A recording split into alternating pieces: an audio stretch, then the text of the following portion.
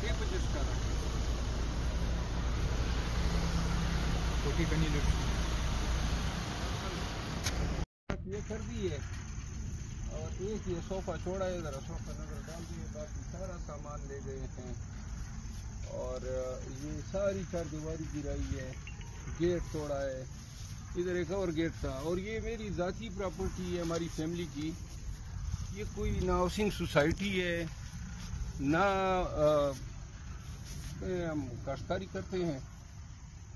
बाकी जो हैं, किसी घर को टच नहीं किया है। नहीं, आओ, बंद करो।